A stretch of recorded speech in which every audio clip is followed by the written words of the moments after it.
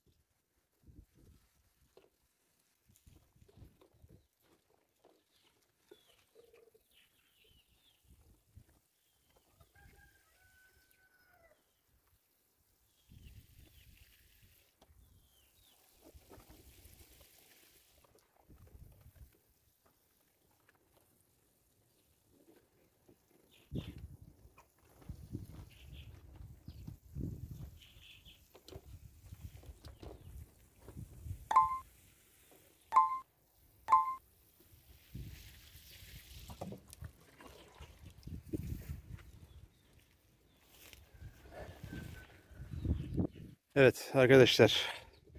Biber fidesi ekimini gerçekleştirdik.